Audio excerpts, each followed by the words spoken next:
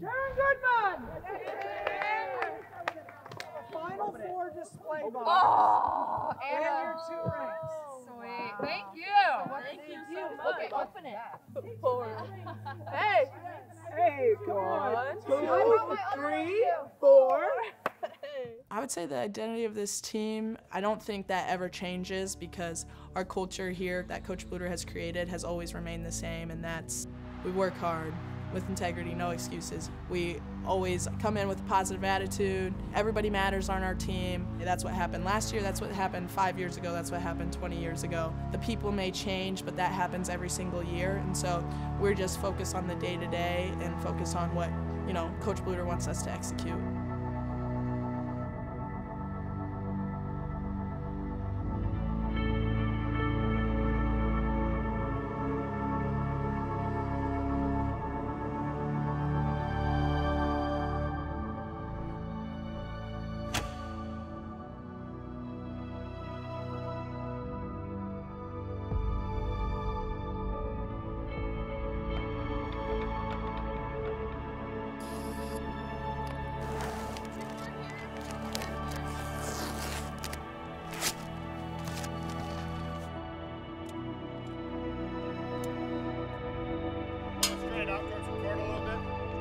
Whoa, whoa, whoa,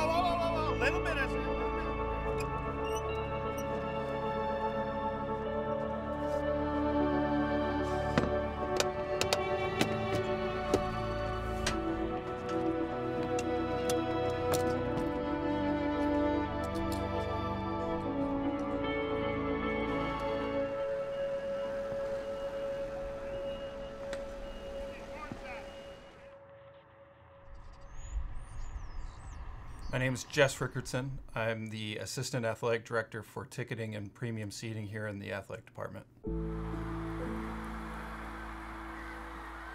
So we've sold out of season tickets for the upcoming season. It's going to be a packed house for every game, not just conference, but all every single game here at Carver. To my knowledge, it hasn't happened for any women's sport here at Iowa. It's it's something new for us. Season tickets were going so fast. I've had so many people come up to me and say, We tried, but they were sold out. And I was like, Yeah, they went out in under an hour.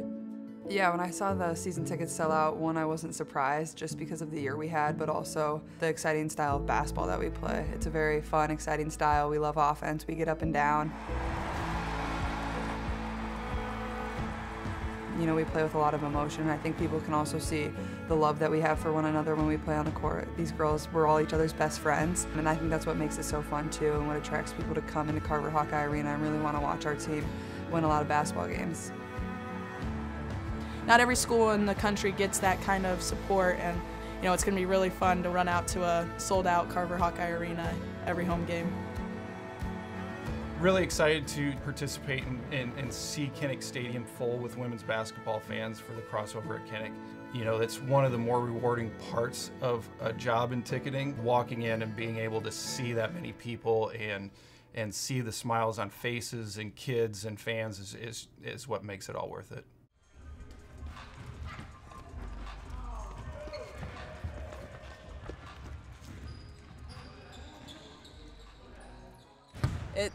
it's crazy. We were just talking in the locker room how how it's already here. Like we're in the middle of October already, and you know what? I think it's like it's gonna be kind of a dream come true. It might be a little surreal for a second, but you know today's our last prep for it, and so we're ready for our first game tomorrow. All right, this is our last uh, opportunity to get ready for our exhibition game, so let's make the most of it. Let's come out here and have fun today. Remember, we get to play for something bigger than ourselves, which is so cool. It's so amazing. I mean, I'm just really excited to be here, just to witness history. This team is an amazing team to watch. I've been keeping up ever since I left. So, and to be able to break the attendance record in the NCAA history is a really big feat. But I know that if anyone can do it, Hawkeye fans can. Never take any time for granted. I mean, it goes by so fast. It feels like just yesterday I was here wearing what you guys are wearing, playing, and um, this is honestly like the best four years of my life in terms of basketball. Together, one, two, three, Together.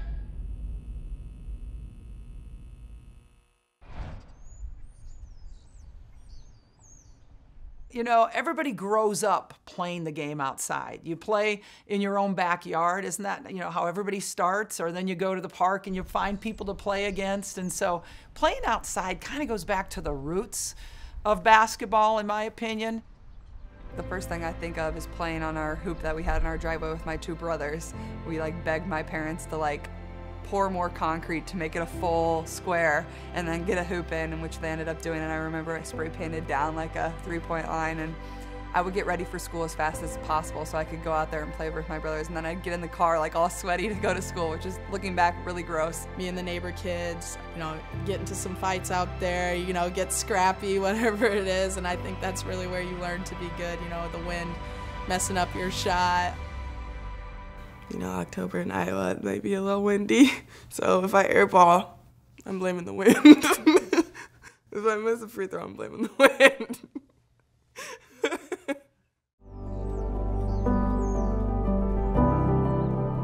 Good morning, Hawkeye fans, and welcome to a different type of game day at Kinnick this morning. Iowa women's basketball returns, but not to Carver Hawkeye Arena, because today is the day we've been waiting for. The crossover at Kinnick, presented by State Farm, is finally here. Come make history with us. It's Iowa and DePaul. Outdoors next. Let's go! Let's go!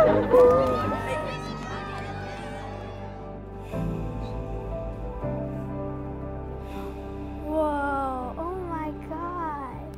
I have not thought about, any of the children up in the hospital being able to watch a women's sport at Kinnick for the first time. To be able to have, you know, little girls be able to look down at us. Wow, that I'm at a loss for words on that one because that's super cool.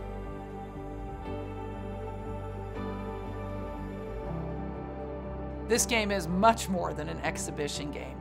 You know, certainly it's the first time that we get to put our uniforms on and compete against somebody else, but to me it's bringing attention to the Children's Hospital, raising money for the Children's Hospital.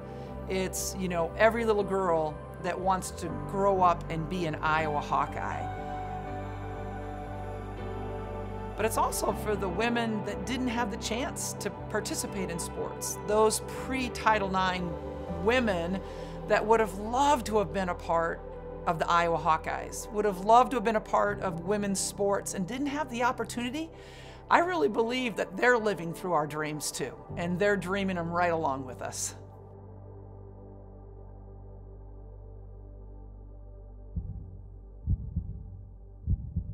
This kicks off the entire women's basketball season. Today, the Iowa Hawkeyes do. Remember this. This is going to be a moment that you remember when you're old, when you have kids or grandkids, and you can say, I did that. I was lucky to play in front of 50 people, let alone 50,000.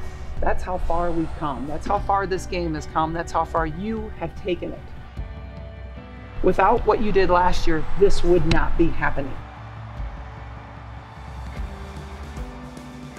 Drives in right side, goes off the window. The fans, many of them on their feet. Easy left-handed layup off the window. Down court pass to O'Grady. Nice catch, layup, good. Clark weaves her way to the basket. Layup is good. Contact and a chance for three.